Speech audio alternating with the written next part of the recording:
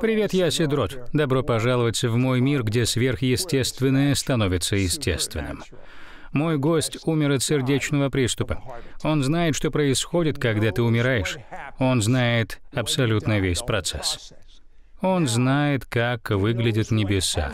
Он вернулся оттуда полностью исцеленным и имеет для нас очень срочное послание с небес. Смотрите далее. Существует ли сверхъестественное измерение? Сидрот провел более 40 лет, исследуя странный мир сверхъестественного. Присоединяйтесь к Сиду в этом выпуске программы «Это сверхъестественно». Такого в моей жизни еще не было. Мессианский еврейский раввин, раввин Халперн, звонит мне и говорит, «Сид, прямо сейчас у меня в комнате находится ангел». О, Феликс, это не было нормой до того, как произошла та медицинская ошибка. Не так ли? Что же это за медицинская ошибка такая? Я был очень далек от этого. Но затем я умер из-за врачебной ошибки. Количество таблеток, рассчитанное на семь с половиной месяцев, я выпил за 29 дней. Этого не должно было быть. Серьезная ошибка. За месяц мое тело стало полностью отравленным. Врачи назвали реакцию моего организма внутренней бурей.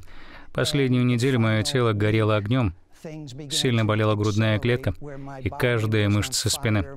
Были все признаки инфаркта. Но я почему-то считал, что все пройдет само по себе. До последней Самой ужасной ночи, когда боль стала вообще нестерпимой. В три часа ночи я спустился в гостиную, и мое сердце прямо там остановилось. Оно больше не могло снести эту боль и в одну долю секунды моя душа вышла из тела и начала подниматься в духовном измерении.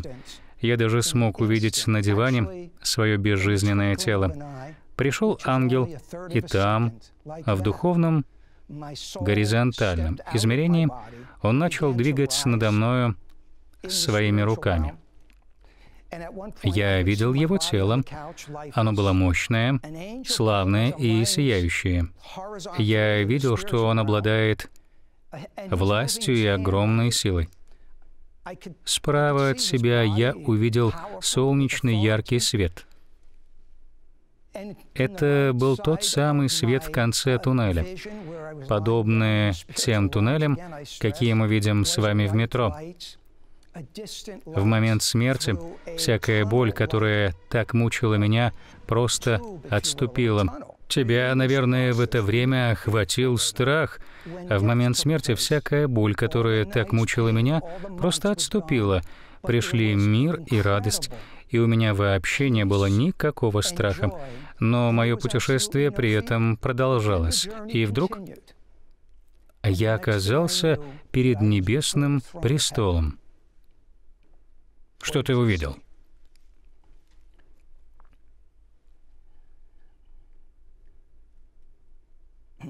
Огненное кольцо. Тебя переполняют эмоции. Почему? Меня переполняли эмоции там, перед престолом. Престол был окружен огненными кольцами, кругами славы. Это были кольца, уходящие в глубину. Они защищали этот престол.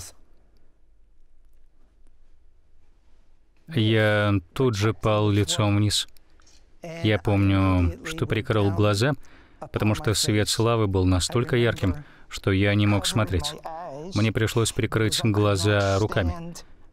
И даже сейчас, всякий раз, когда я поклоняюсь в Божьем присутствии, я прикрываю свои глаза руками от ослепительной Божьей славы. Я лежал перед Божьим престолом, я видел престол Господа, видел Его ноги. Престол стоял на кристальной поверхности моря. Это было третье небо. Итак, там на небесах я стоял у реки, и мне казалось, мне казалось, что эта река проистекала из самого престола. Я не знаю, куда именно она текла, но я видел движение этой реки. Вода в этой реке была удивительной. Она была кристально чистой, чище, чем в любой точке мира. даже в самых высоких горах, самыми чистыми горными источниками, вода в этой реке была чище и прозрачней, чем любая самая кристальная, чистая вода в нашей природе. Я видел эту воду и понимал, что она приносит жизнь. На дне этой реки лежали драгоценные камни, драгоценные минералы. Они отсвечивали яркими оттенками. Это были бриллианты, изумруды и рубины. Каждый из них был совершенным. В воздухе вокруг витала жизнь. Жизнь была во всем, и все вокруг давало жизнь. Во всем этом был естественный ритм, данный самим Творцом. Насколько свободно ты себя чувствовал, я ощущал себя птицей, которая впервые вспарила ввысь. Я представляю себе птицу, которая впервые вылетела из гнезда и впервые ощутила ветер в своих крыльях. Я ощущал, что означает быть нетленным, когда ничто тебя не ограничивает. Ты можешь перемещаться в воздухе, и перед тобою нет никаких земных преград. А когда ты был послан назад, когда ты вернулся в свое тело, это был болезненный процесс. Тебе было страшно в тот момент. О нет, когда наступил момент, чтобы Бог снова вдохнул в меня жизнь, откуда-то из ниоткуда пришло дуновение ветра. Этот ветер прошел в мои ноздри и в мой рот и спустился в глубину моих легких. И затем я как бы сделал вдох. Как мы делаем вдох, когда всплываем после того, как были под водой. Вот так. Я снова задышал, как будто до этого я утонул. И я снова мог сделать глубокий вдох во все легкие. Я пришел в себя прямо там, у себя в гостиной. Я покачал головой и воскликнул, «А что это было?» Потом я осознал, что только что со мной произошло. Господь вернул меня к жизни. Когда Бог тебя воскресил, ты снова пошел к врачу. А что сказали эти врачи о твоем здоровье, о том, в каком состоянии твое сердце? Врач сказал, я не знаю, что заставило вашу кровь так циркулировать. Но у вас кровообращение не пожилого мужчины, а молодого жеребца. Вот такие перемены с нами делают небеса. Но здесь, на земле, у нас еще полно дел. Я знаю, что вы готовы услышать срочное послание, которое Равин имеет для вас. Бог вернул его на землю, чтобы вы смогли услышать это послание. Мы скоро вернемся. Это сверхъестественно.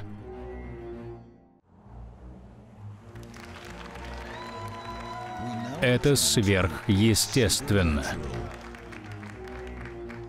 Равин Халперн, спустя три дня после того, как ты умер, и затем Бог вернул тебя на землю, после того, как твое совершенно отравленное препаратами тело стало полностью здоровым, после того, как ты побывал на небесах, Бог доверил тебе срочное послание. Я захвачен этим посланием даже больше, чем вы можете себе представить. Что Бог сказал тебе о псалмах?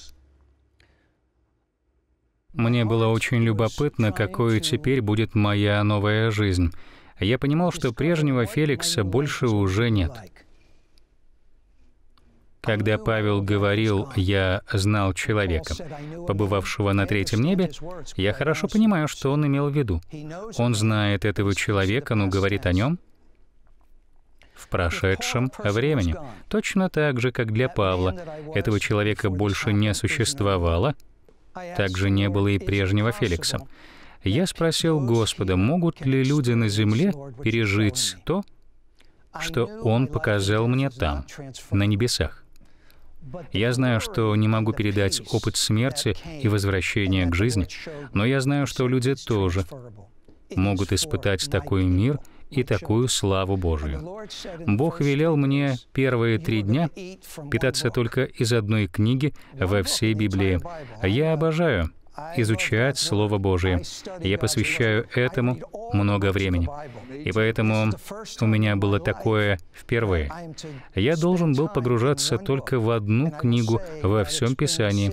С сентября 2019 года я до сих пор пребываю в одной этой книге. Бог все еще показывает мне многие аспекты в этой книге. Бог сказал мне, чтобы я изучал книгу псалмов, и Он обещал мне, что покажет мне псалмы Его славы.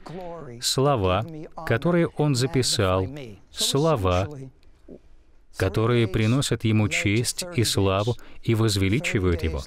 Так три дня приросли, сначала в 30 дней, потом в 90 дней и так далее. Бог захотел, чтобы я лишил свою душу таких естественных вещей, как нужды, заботы и тревоги. Бог так задумал для нас, что мы должны приходить к Нему и молиться. Это важно. Мы знаем, что Слово Божие учит нас соединяться с Господом в молитве. Мы должны прикасаться к краям Его одежды, хвататься за нашего Господа и умолять Его помочь нам. Но я вдруг осознал, что моя культура молитвы — базировалась в основном на том, чему меня научили с детства. Но эта культура ошибочна.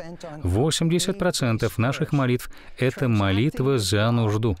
Мы о чем-то просим Бога, об исцелении или еще о чем-то, и мы, конечно, имеем право просить Бога об этом. Но я увидел, и Бог показал мне, что это формирует в нас дух вечно нуждающегося человека. Так мы не сможем прорваться в жизнь свободы, в жизнь избытком. И это мешает нам пребывать в благодарности Богу.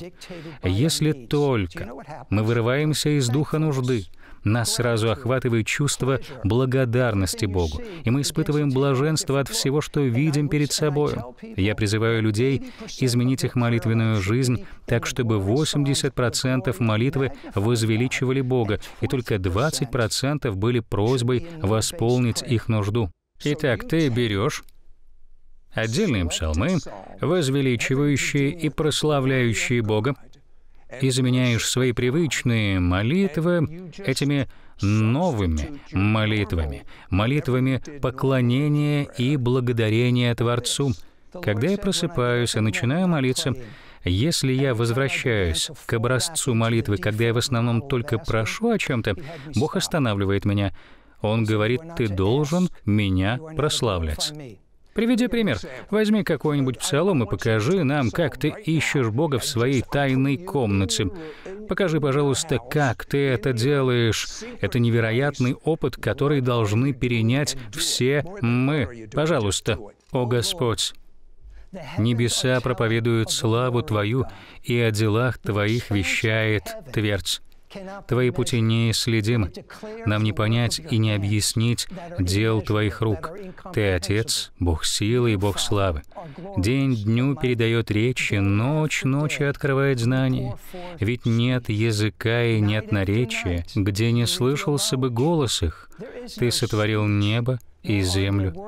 И как только я поднимаю взор на небеса и вижу величие небес, я убеждаюсь, что Ты — Отец, Бог славы, и что Ты — жених, который скоро грядет, вернется за своей невестой. Мы вместе с Твоей невестой ожидаем Тебя, и слава Твоя прошла по всей земле, превыше небес, вот такие размышления над Божьим Словом начали формировать мое время с Господом по утрам, и не только по утрам. Я хочу сказать себе, что я тоже начал искать Бога подобным образом. Я верю, что теперь я буду видеть больше отвеченных молитв просто потому, что я прославляю и возвеличиваю Бога больше, чем если бы я все время только перечислял нужды своей молитве. Сит, у меня именно это и начало происходить. Я вижу больше ответов на свои нужды теперь, когда я возвеличиваю Бога и пребываю в Его славе. Все дело в том, что Земля полна трудностей, когда на небе все просто. На Земле кругом одни сплошные нужды. Разве ты, я или кто-то из наших зрителей когда-нибудь окажется без нужд на Земле? Конечно, нет. Если сегодня Бог ответит на наши молитвы, уже завтра у нас появится новая нужда, за которую нужно будет опять молиться. Дети, внуки, служение, страна, любые другие сферы жизни. После грехопадения у человека всегда будут нужды. Мы живем в смертных, слабых телах. Писание говорит, «Отец, что есть человек, что ты помнишь о нем? Иногда я ощущаю себя жалким муравьем в таком большом мире на фоне величия Бога». Сид, ты спросил меня о чувстве свободы, которое я ощутил. Я ответил, что я ощутил себя как птица, которая впервые воспарила ввысь. Но в этом измерении свободы изменилась вся моя жизнь. Я ощущаю себя просто наблюдателем со стороны. Я здесь на земле в гостях, я чувствую себя отстраненным от забот этого мира. Я никогда раньше не ощущал такой свободы. Иисус в Новом Завете ясно говорит нам, что мы в мире, но мы не от этого мира. И сейчас, как никогда раньше, я ощущаю, что я не от этого мира — Поначалу это было сложно. Особенно сложно порой было моей семье. Они должны были адаптироваться к этим переменам во мне. Они наблюдали, как я выходил на улицу ветреный день просто для того, чтобы ощутить ветер. Я чувствую в ветре необыкновенное ощущение свободы.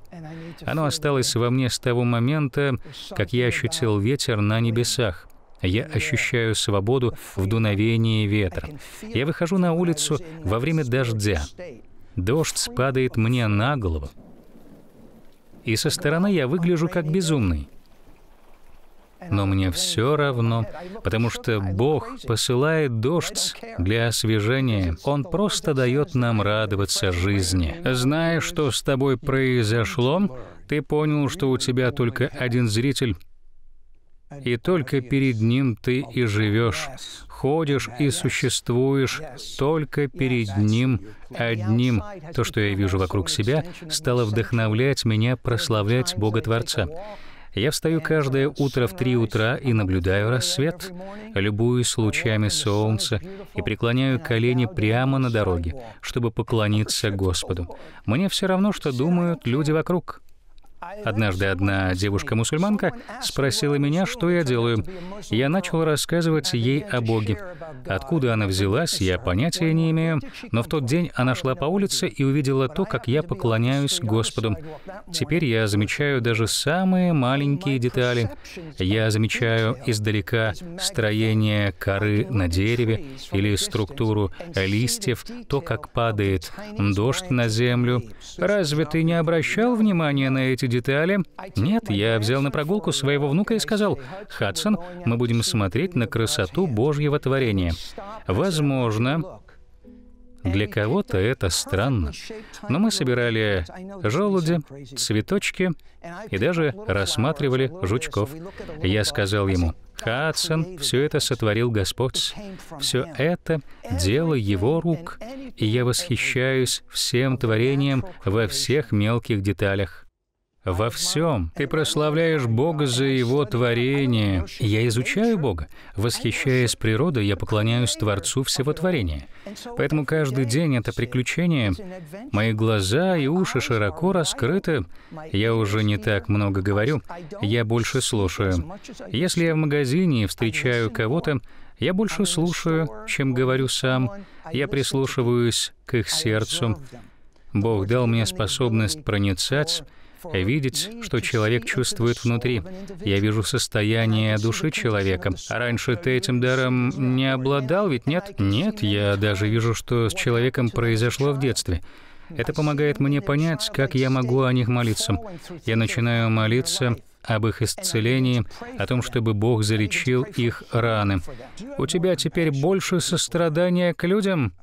Намного намного больше. Ты теперь больше инвестируешь свою жизнь в людей. Да, это мой дар. На все сто процентов. Ведь такое призвание я получил от самого Господа. Ты сказал, что послание о Мессии — это срочное послание. Да, ведь никто не знает, когда вернется Мессия, а мы думаем, что у нас вся жизнь впереди. Мы столько всего себе распланировали. Но Библия говорит, что наша жизнь как трава, которая может засохнуть в один день. Моя жизнь закончилась в одно мгновение. Я этого не планировал. Я благодарен Господу, что Он вернул меня на эту землю и восстановил всю мою жизнь. Иначе меня меня бы здесь не было. Бог напомнил мне так, что это крепко запечатлелось в моем сердце, что люди должны срочно примириться с Ним, с Богом. Люди должны помнить, что их жизнь может оборваться в любую минуту. Может произойти авария, или вы получите смертельный диагноз. Мы не можем планировать наперед. Вопрос, куда они попадут после смерти. И также те, кто не познал Господа, не смогут испытать славу Божью, Его мир и радость. Человек либо воспарит во славу небес, либо упадет в саму глубину ада. А ад — это ужасное место, темное место, и от этого душа моя сжимается болью за людей. И поэтому я не успокоюсь. Я буду до конца возвещать послание о спасении, чтобы люди не попали в ад. Так что примиритесь с вашим Богом. Мы все знаем это на интеллектуальном уровне, но есть большая разница между интеллектуальным знанием и тем, когда это знает каждая клеточка тела. Равин Феликс не знал, что он умрет. В его случае это была врачебная ошибка. Но смерть может подстерегать нас в любой момент. Многие люди умирают, когда попадают в аварию.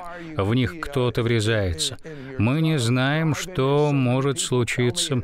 Но вот что я знаю точно. Бог благ, если вы произнесете со мною эту молитву.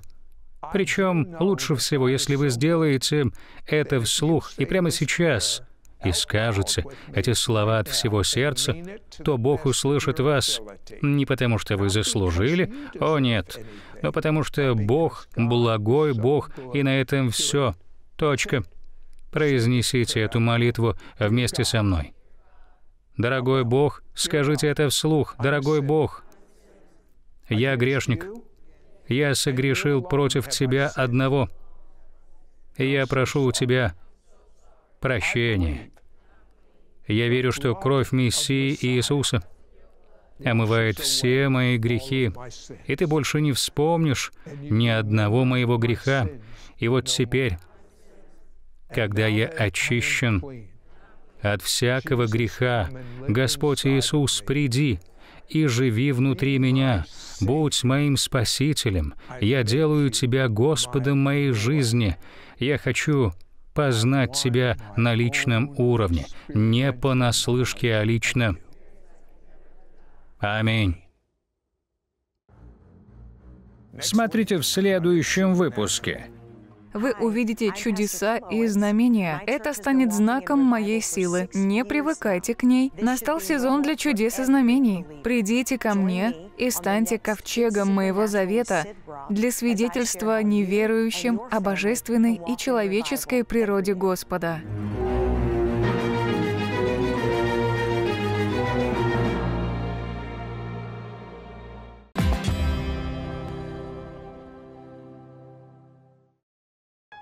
Вы когда-нибудь чувствовали себя таким нелюбимым, что вам не хотелось жить, и вы думали, что без вас мир будет лучше. Но вот в чем правда. Есть тот, кто любит вас очень сильно. Еще до сотворения человечества он знал о вас все и приготовил для вас обильные благословения. Он видел все ваши слезы, радовался с вами во все радостные моменты вашей жизни. Он наблюдает за вами с утра до ночи. Он ваш самый большой поклонник. Он сформировал вас в утробе матери. Он усыновил вас в свою семью еще до сотворения мира. Он заботился о вас от самого рождения. Он говорит, что вы дивно сотворены. Его мысли о вас больше, чем песка в море. Он сказал, если родители откажутся от вас, он всегда вас примет. Даже если ваша мать забудет о вас, Он никогда вас не забудет. Он будет для вас настоящим отцом. Он избрал вас, чтобы вы были частью Его семьи. Он обещает, что вы можете положиться на Его любовь к вам. Его любовь совершенна. Он никогда вас не покинет. А если вы приблизитесь к Нему, Он обещает, что приблизится к вам. Мы хотели бы больше рассказать вам о Нем. Пройдите по ссылке, и вы получите бесплатную копию книги «Они подумали о себе». Заходите на наш сайт уже сегодня. Молитва — это важная составляющая доступа ко всем Божьим обещаниям и благословениям. Ежедневная молитва на данном вам Богом языке очень важна. Мы представляем вам совершенно новое приложение «Разговор с Богом». А вы сможете установить напоминание о том, что хотите помолиться и сообщить другим, сколько времени вы провели в молитве. В нашем приложении Всемирного молитвенного сообщества вы сможете оставить свои молитвенные просьбы. Также вы найдете видеоучение о том, как получить крещение Духом Святым и как ежедневно и эффективно молиться на сверхъестественном языке, который дал вам Бог. Смотрите архивы наших программ АСН, сети «Это сверхъестественно», чтобы созидать свою веру и поверить в невозможное. Приложение бесплатное, доступно на всех девайсах. Зайдите в свой магазин приложений и найдите «Разговор с Богом»